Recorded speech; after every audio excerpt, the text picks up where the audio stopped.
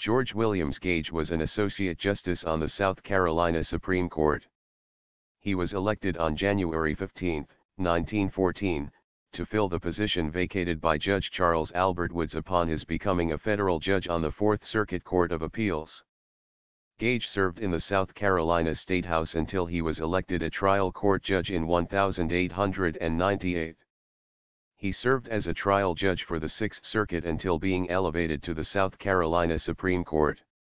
Judge Gage wrote one of the earliest decisions recognizing the exclusionary rule in town of Blacksburg v. In that opinion he said, it is better that the guilty shall escape, rather than another offense be committed in the proof of guilt.